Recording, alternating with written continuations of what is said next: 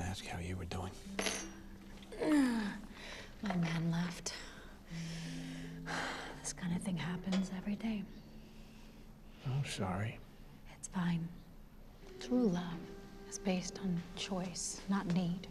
Do you need your wife, or do you choose your wife? Well, can it be both? No. The second one is the one that truly matters. At the end of the day, it is. Choice matters over need. I don't like to be alone. That sounds like need.